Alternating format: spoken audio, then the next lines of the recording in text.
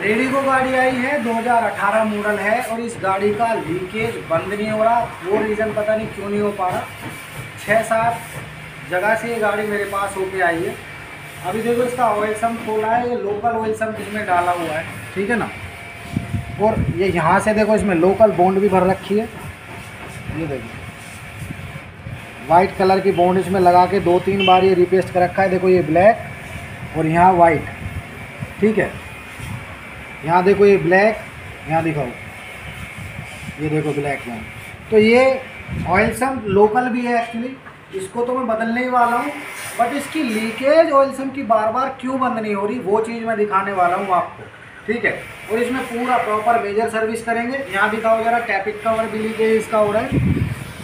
ये देखो, बुरी तरीके से इसका टैपिट कवर लीकेज होके रखा हुआ है पूरा का पूरा।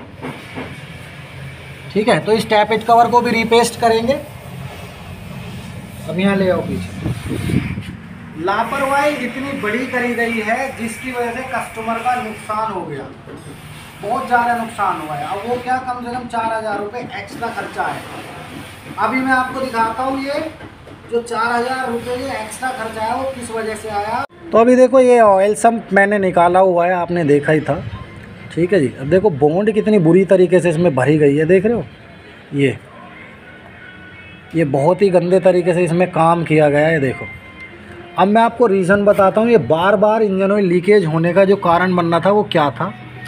तो इस तरफ़ देखो, यहाँ तक ना ये मैन ऑयल सील वाली प्लेट रहती है ये वाले। ठीक है? ये यहाँ पे, ये अंदर की तरफ़ ये मैन ऑयल सील लगी हुई है। ये फ्लाई व्हील खुलेगा और फिर इसके बाद ये मैन ऑयल सील डलेगी। अगर हमें मैन ऑयल सील चेंज करनी होती है। अब इसमें क्या कमी छोड़ दी भाई ने? क्या नुकसान कर दिया कस्टमर का? वो दिखाता हूँ ज़रा।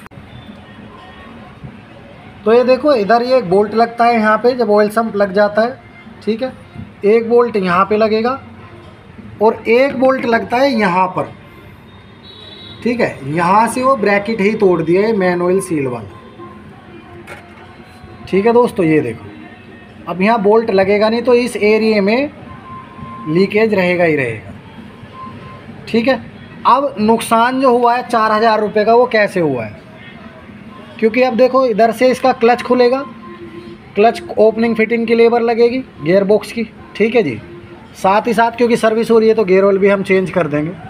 फ्लाई खुल के ये पूरा ब्रैकेट डलेगा नया, जिसका प्राइस है साढ़े सोलह सौ रुपये और मैन ऑयल सील है साढ़े चार पाँच सौ, साढ़े आठ सौ रुपये की। तो पाँच हज़ार रुपये का खर्चा एक छोटी सी लापरवाही की वजह से हो गया। और ये बहुत बड़ी लापरवाही है भाई। मान लो अगर इंजन ऑयल लीक हो जाए और कस्टमर को ना पता चले तो गाड़ी का इंजन सीज होना तय है। तो ये लापरवाही करनी नहीं चाहिए। अब हम इसको खोल रहे हैं गेयर बॉक्स उतारेंगे मैनुअल सील वगैरह सब चीज़ लाएँगे और इसके इंजन ऑयल की लीकेज वगैरह सर्विसिंग पूरी मेजर तरीके से करेंगे। क्या कर रहे हैं? सबसे पहले टैपिट कवर को खोल के रिपेस्ट कर देंगे आज। तो इस टैपिट कवर आराम से सूख जाएगा, ठीक है ना? रिपेस्ट करने के बाद इसका मैं गेयर बॉक्स खोल के छोड़ दूँगा। अभी मैं पीछे के ब्रेक दिखाता हूँ। ये देख रहे हो? भाई, कोई गाड़ी ऐसी नहीं जाती मेरे पास जिसका मुझे इसमें मेहनत ना करनी पड़ती। एक भी गाड़ी का ब्रेक पीछे का साफ़ नहीं मिलता और बहुत बुरी तरह गंदे हालत में मिलता है। अब ये साफ़ करने पड़ेंगे, देखो कितनी धूल जमी पड़ी है। पता नहीं क्यों नहीं खोलते यार पीछे के ब्रेक कस्टमर पैसे नहीं देता। क्या कलेश फंसता है मैकेनिक को? समझ नहीं आती मुझे तो। अभी दूसरी साइड का भी खोलता हूँ। ऐसी इस तरफ़ का देखो। पता नहीं क्यों नहीं साफ़ करते यार, समझ नहीं आती। अब इनको मैं चमका देता हूँ एक बार, फिर देखना। साफ़ सफ़ाई कर दी है। ठीक है जी। दिखाई देंगे नंबर ये। ये सफ़ाई होनी चाहिए। दूसरी साइड का भी दिखा रहा हूँ। इधर का भी हो गया। बढ़िया से अब ये पीछे का पैक हो जाता है सिस्टम। टोटल बॉडी देख लो कितनी गंदी है। ये तो मकैनिक की ज़िम्मेदारी बनती है कि मकैनिक देखे और कस्टमर को बताए। कुछ लोग ऐसे होते हैं जिनको सिर्फ़ पता ही गाड़ी स्टार्ट करके चलना है।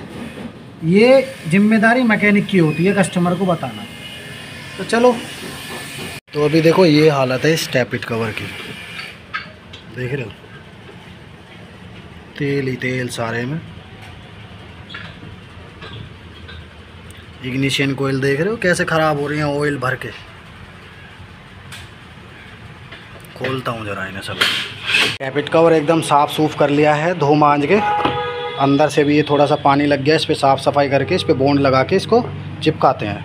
कैपिट कवर की बोंड वगैरह तो प्रॉपर तरीके से सूख गई है इसकी। ठीक है जी? अभी हमने अब इसकी आगे की फ़िटिंग करेंगे। अभी ये गेयर ऑयल निकाला है। ठीक है, लग नहीं रहा मुझे इसकी हालत अच्छी है तो मैं नया गेयर ऑयल डाल दूँगा मैं। और अब इसका जो है ब्रैकेट वगैरह लेके आएँगे, यहाँ साफ़ सफ़ाई करेंगे। ठीक है जी गेयर बॉक्स उतार रहे हैं तो ये क्या हालत हो रखी है सारा इंजन ऑयल लीक हो के इसमें। इसकी पूरी तरीके से सफ़ाई करेंगे। और ये क्लच बैरिंग ख़राब हो गया है। इसको रिप्लेस करेंगे भाई। ठीक है जी, और ये प्लेट इधर से खोल लिए। खोल के साफ़ सफ़ाई कर दिए नीचे भी साफ़ सफ़ाई कर दिए अच्छे से। अब प्लेट लगाने के बाद ही काम स्टार्ट होगा प्लेट आ रही है भाई। और क्लच की कंडीशन दिखाता हूँ कैसी है, एक बार देख लेते हैं। तो ये इसका क्लच सेट है, ये बिल्कुल ख़राब होने वाला है, अभी ज़्यादा दिन चलेगा नहीं है ज़्यादा से ज़्यादा दस हज़ार किलोमीटर ये चलने वाला है, और ये स्किड भी मार रहा है बहुत ज़्यादा। ये देख रहे हो ये? ज़्यादा नहीं बचे हुए। और इस तरफ़ से तो ये कहीं कहीं से ख़त्म भी हो गए हैं, देख रहे हो? ये ये हो गया, ये हो गया। तो बचा नहीं है इसमें दम, ये देखो यहाँ ख़त्म हो गया। तो इसकी भी बात करते हैं भैया से, ठीक है? चलो फिर।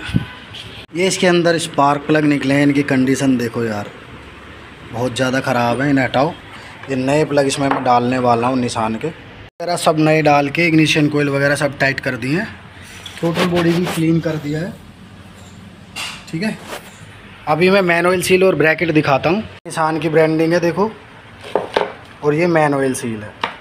और ये जो ब्रैकेट था, ये तोड़ा था इस तरफ़ से, देखो भाई ने, ये देखो, ये टूट रहा ना यहाँ से? और ये इस तरीके से बोल्ट रहता रहता है यहाँ पे जो। ये ओवर टाइट मार दिया दो तीन तरह की बोंड लगी हुई है इसमें, देखो। वाइट और ब्लैक दो बार ये रिपेस्ट किया गया है और ताकत लगा के बोल्ट ही तोड़ दिया। तो चलो कोई नहीं ब्रैकेट मिल गया है तो ये देखो ये ब्रैकेट है और इसका पार्ट नंबर भी आप देख सकते हो, ये सर्च कर सकते हो। ठीक है, और ये मैन ऑयल सील है ओरिजिनल इसी को लगा के इस पर पहले यहीं फिक्स कर लेते हैं, फिर उसके बाद गाड़ी में इन बिल्ड करते हैं इसको। वैल्यू का क्लच सेट में इसमें डाल रहा हूँ नया। ब्रांडिंग देखो वैल्यू ठीक है जी? सेट नया लगा दिया है वैल्यू भाई। ठीक है जी अभी गियर बॉक्स में क्लच बैरिंग भी लगा रहे हैं।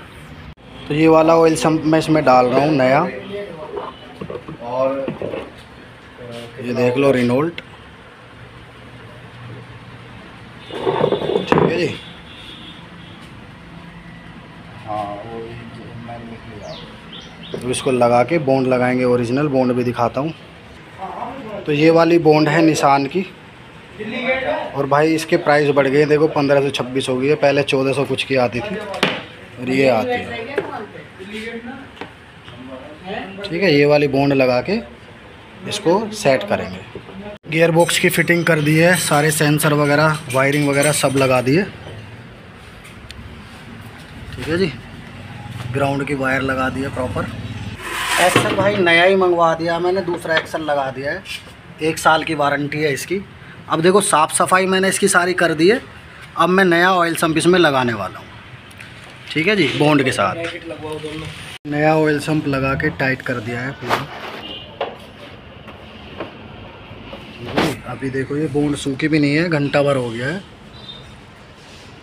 ठीक है, जब पूरा टाइट हो जाएगा, तब ऑयल फ़िल्टर लगाएँगे इसमें। अब डाल रहे हैं गेयर ऑयल गेयर ऑयल डालेंगे एट्टी डब्लू नाइन्टी एचपी वाला डालता हूँ एक लीटर। कूलेंट भी मैंने पूरा फ्लश किया है। रेडिएटर का नीचे वाला पाइप निकाल के सारा रे पानी कूलेंट निकाल दिया। पानी था इसमें। और यहाँ मैक्स तक इसमें कूलेंट कर लिया है। देखो दिखाई दे रहा है। डेल्फी का ये वाला कूलेंट मैं इसमें डाल रहा हूँ। ठीक है जी? लगाओ बोतल। अब इसमें डाल के कूलेंट की ब्लीडिंग कर देते हैं। तो कूलेंट जा रहा है भाई। और भैया साथ में ही है। बाद में फीडबैक भी देंगे। हमारे तिवारी जी। चलो तो पूरा कूलेंट डाल देते हैं इसमें। सिस्टम की ब्लीडिंग की वीडियो मैंने डाल ही रखी है। एक तो यहाँ से होती है कूलेंट की ब्लीडिंग एक यहाँ से होती है दो जगह से। तो उसकी वीडियो मैंने डाल रखी है, आप देख लेना। कूलेंट कर देता हूँ फटाफट पूरा। आराम से डाली हूँ। बाहर ना बिखरे जो एयर फ़िल्टर नया। ठीक है जी। इसको लगा देते हैं। कूलेंट की ब्लीडिंग तो कर दी है मैंने। सिंपल है तीन ब्रैकेट में बिठा के इसको फ़िल्टर को लगा देते हैं। अभी नया ऑयल फ़िल्टर भी हमने इसमें लगा दिया है।